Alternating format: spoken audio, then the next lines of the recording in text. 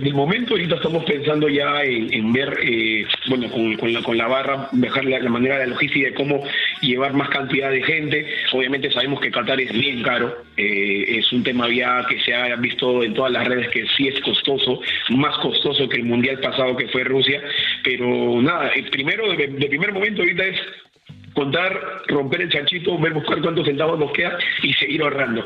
Con el tiempo ya vamos a tratar de ver una logística más grande con, los miembros de la barra, no solamente nuestra barra, sino las barras hermanas, para ver eh, en qué posibilidades o cómo podemos facilitar que más gente de la barra pueda eh, llegar a, a Qatar. Y como siempre hemos hecho, mediante actividades u otras cosas que ya con el tiempo van viniendo.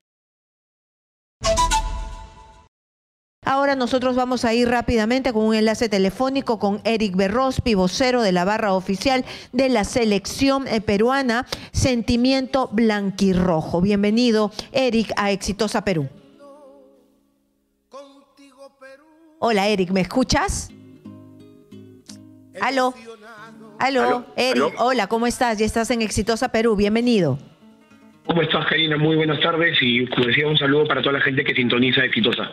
Muchas gracias por estar aquí. Ayer fue desbordante el cariño, el amor, el sentimiento. Lo hemos vivido todo y también es parte de todo lo que ustedes hacen, empujan y lo que en realidad hasta canciones tienen, canciones propias, cantan con el corazón y persiguen a la selección. Así, es, Karina. Eh, bueno, disculparás la voz, sigo ronco todavía con la celebración. Este primer paso en lo que es el, el repechaje para que nuestra selección pueda ya comprar sus boletos para Qatar.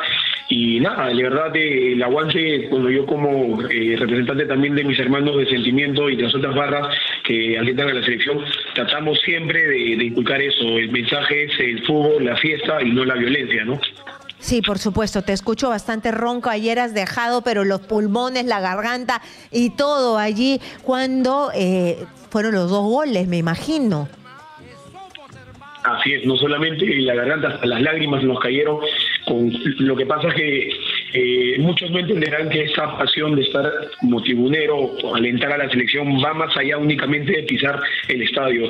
Eh, muchos sacrificamos eh, tiempo, sacrificamos un poco de nuestro chanchito para estas cosas. Hace poco nomás vinimos de Uruguay, que lo cual tuvimos que endeudarnos en algunos casos con los bancos para poder llegar a alentar a la selección y hacer sentir que Uruguay no solamente era uruguayo, sino era netamente peruanos y fuimos locales, es lo que se vio. ¿Y qué es eh, lo que yo debo entender cuando tú dices algunos no entienden? Yo entiendo esta pasión, pero la pasión es la selección o ahí hay un sentimiento entreverado, vinculado con eh, lo que es ser peruano, con lo que puede hacer el Perú, con lo que hasta dónde puede llegar este ser peruano, porque cuando cantan las canciones, se canta el himno nacional, ahí es donde la efervescencia de las barras, de la hinchada, es donde se nota más. Así es, Karina, como tú mismo lo dices, más allá cuando te digo de que no pocos entenderán, es que no es solamente pisar, voy al estadio ya, sino que es transmitir ese mensaje de, patriotismo del que el peruano por el fútbol puede hacer un montón de cosas. Y como te digo, eso fue el aval por el cual nosotros nos ganamos ese campeonato mundial de ser la mejor hinchada del mundo. Y creo yo que seguiremos haciéndolo, porque estas eliminatorias no ha habido ningún peruano que no haya asistido a un solo partido de selección. Lo, hemos visto en Barranquilla, en La Paz, cuando la selección jugó fuera de Perú, hemos llenado prácticamente los estadios.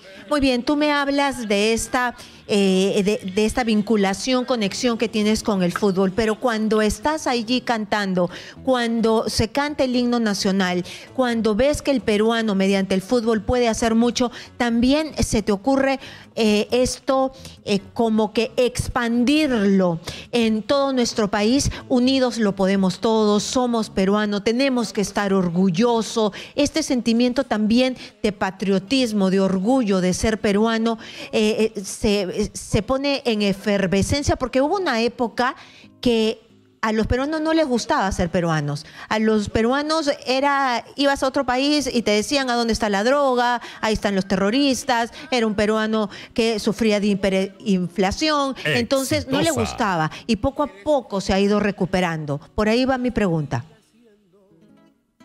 Lo que nosotros también transmitimos en el fútbol es tratar de, alejar ese, ese, mal comentario, ¿no? Eh, como tú lo has dicho, muchas veces se asocian al, peruano con otras cosas que lamentablemente puedan pasar y nosotros mediante este tema del fútbol, mediante el hinchaje, tratamos de, responder diciendo, mira, el peruano no es lo que tú dices, el peruano hace un montón de cosas, el peruano también es futbolero, el peruano también es respetuoso, el peruano es una, una persona de bien. Entonces, eso es lo que también tratamos de transmitir mediante incluso las canciones, ¿no? Pero eh, yo les invitaría a todos los que están escuchando que puedan darse a las plataformas de la, de la barra y ahí tenemos los cancioneros que incluso van a poder entender porque están con las letras y van a entender el mensaje. Muy bien, sí, he visto también que las canciones ahora se volvieron un eh, boom en el, en el TikTok, han hecho un montón de TikTok y que ponen las canciones de las barras. ¿Y ahora qué vas a hacer para irte hasta Qatar? Porque me imagino que no vas a faltar, ¿no? Pero ahí también, como me dices, el chanchito, todo lo que uno hace, lo que ustedes hacen para llegar a apoyar a la selección de, momento ahorita estamos pensando ya en, ver, eh, bueno, con, la, con la barra, dejar la, manera de la logística de cómo llevar más cantidad de gente. Obviamente sabemos que Qatar es bien caro, eh, es un tema ya que se ha visto en todas las redes que sí es costoso, más costoso que el mundial pasado que fue Rusia, pero nada, eh, primero, de, de primer momento ahorita es contar, romper el chanchito, ver buscar cuántos centavos nos queda y seguir ahorrando. Con el tiempo ya vamos a tratar de ver una logística más grande con, los miembros de la barra, no solamente nuestra barra, sino las barras hermanas, para ver eh, en qué posibilidades o cómo podemos facilitar que más gente de la barra pueda eh, llegar a, Qatar. Y como siempre hemos hecho, mediante actividades u otras cosas que ya con el tiempo van viniendo. Ah, bueno, ustedes hacen actividades, es decir, trabajan ahorran, pero también tienen sus propias actividades para generar dinero.